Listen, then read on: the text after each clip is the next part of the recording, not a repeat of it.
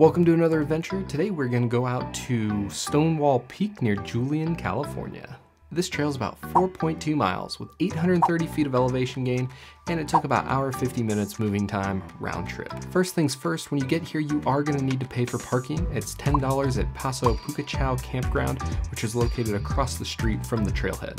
While you can bring dogs to the campgrounds, dogs are not allowed on the trail.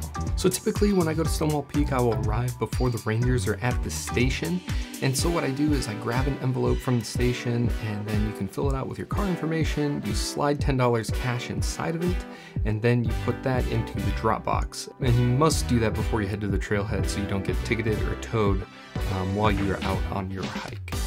So once your parking's all taken care of, you're just gonna head across the street and you're gonna start up the trailhead. You'll see it, um, you'll see the trailhead sign easily across the street. Now this is a very busy road, so make sure to look left and right and left again and right again If you have any kids, pick them up or hold on to them tight. So going up this trail, uh, you climb up this mountain and you end up doing a bunch of switchbacks and you're along a hillside with trees. It's absolutely beautiful. Um, you know, when we go, both times we've gone, it's been super windy and you just hear the wind whipping through the trees. It is something to be cautious of because there are fallen trees in the area. There's a lot of dead trees around from past fires. So something to keep in mind that, uh, you know, if a tree doesn't look stable and it's windy, I wouldn't stay by it. And it's very possible during high wind conditions uh, that maybe this won't be the best trip for you. Depending on the weather, this is a hike that you will see snow on, uh, definitely towards the top. And if there's snow and ice up at the top of this trail, I would be very, very, very, very cautious about going to the viewpoint because as you'll see in the end of the footage, it is all stone. Um, and so if you are fighting snow and you're fighting ice, there is a very high risk for uh, slipping and falling. If you feel like you can do it comfortably, that's one thing. But if you're very unsure, you're not sure footed, you don't have the correct gear, don't make it to the top on a snowy day. Um, it's okay. You can wait for it to melt and, and go back up another time. Once you make it to the top, it's absolutely beautiful. You get 360 views of the surrounding area. Um, it, it's an absolutely amazing viewpoint. Something to keep in mind is once you get up there, it is windy, at least both times that I've done it. And, uh, you know, you can see in this footage here, it's just like blowing out the microphone. Bring something that's warm because you can get very cold up there quickly on a windy day. Overall, I'd say this is a top hike uh, in the San Diego trail system. I've never had a bad time here and I just love everything about it. So if you haven't been here before, I definitely recommend checking it out. Hey, if you find these videos helpful, please make sure to like, comment, subscribe down below so I know you like what I'm doing. All right, Adventure fam, let's go. To the trail!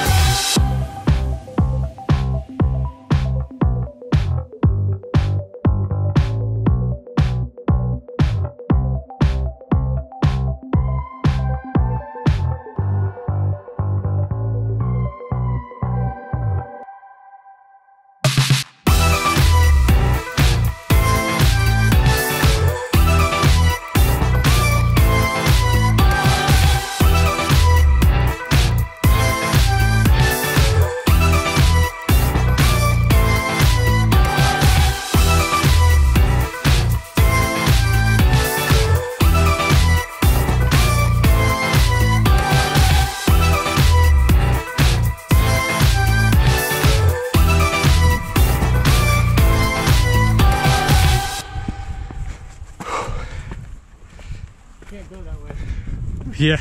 oh my god, it's so windy!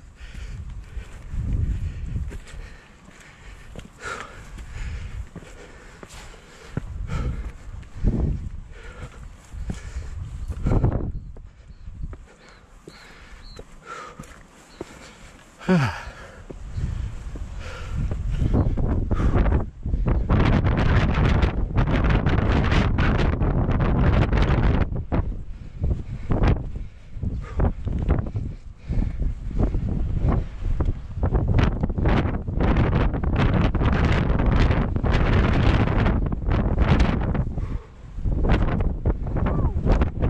buddy.